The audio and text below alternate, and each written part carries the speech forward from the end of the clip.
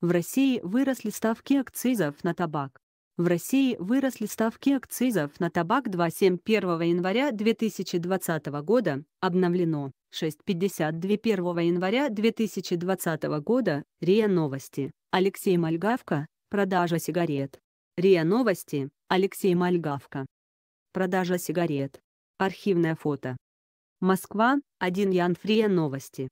Ставки акцизов на табак в России выросли с 1 января в соответствии со вступившими в силу нормами налогового кодекса.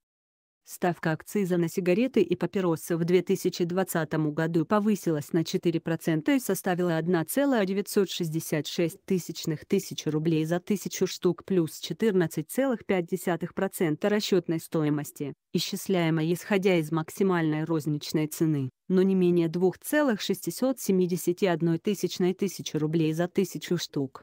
6 июня 2019 года, 11 двоеточие 31 Петербургский международный экономический форум. В Минздраве обсуждают вопрос повышения возраста продажи табака и алкоголя. С 1 января на 4% выросла ставка акциза на трубочный, курительный, кальянный, жевательный, сосательный, нюхательный табак. Она достигла 3,172 тысячи рублей за килограмм.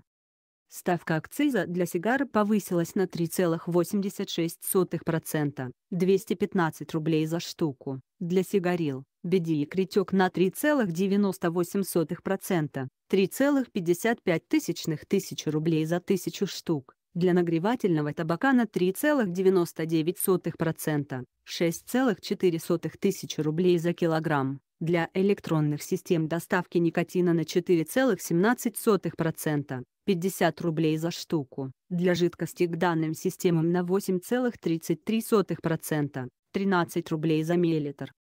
В этом году увеличение ставок акцизов внесет относительно небольшой вклад в рост стоимости табачной продукции, рассказал РИА Новости руководитель отраслевого информационного агентства «Русский табак» Максим Королев. Что касается сигарет, Повышение ставок акциза в разумных пределах около 4% – это намного более щадящий режим, чем в прошлые годы, когда показатель РЕД повышали до 40% за один раз. На фоне других причин для повышения цен это влияние будет не очень большим, сказал он. 30 декабря 2019 года. 13.20 Что изменится в России? Си. 1 января 2020 года.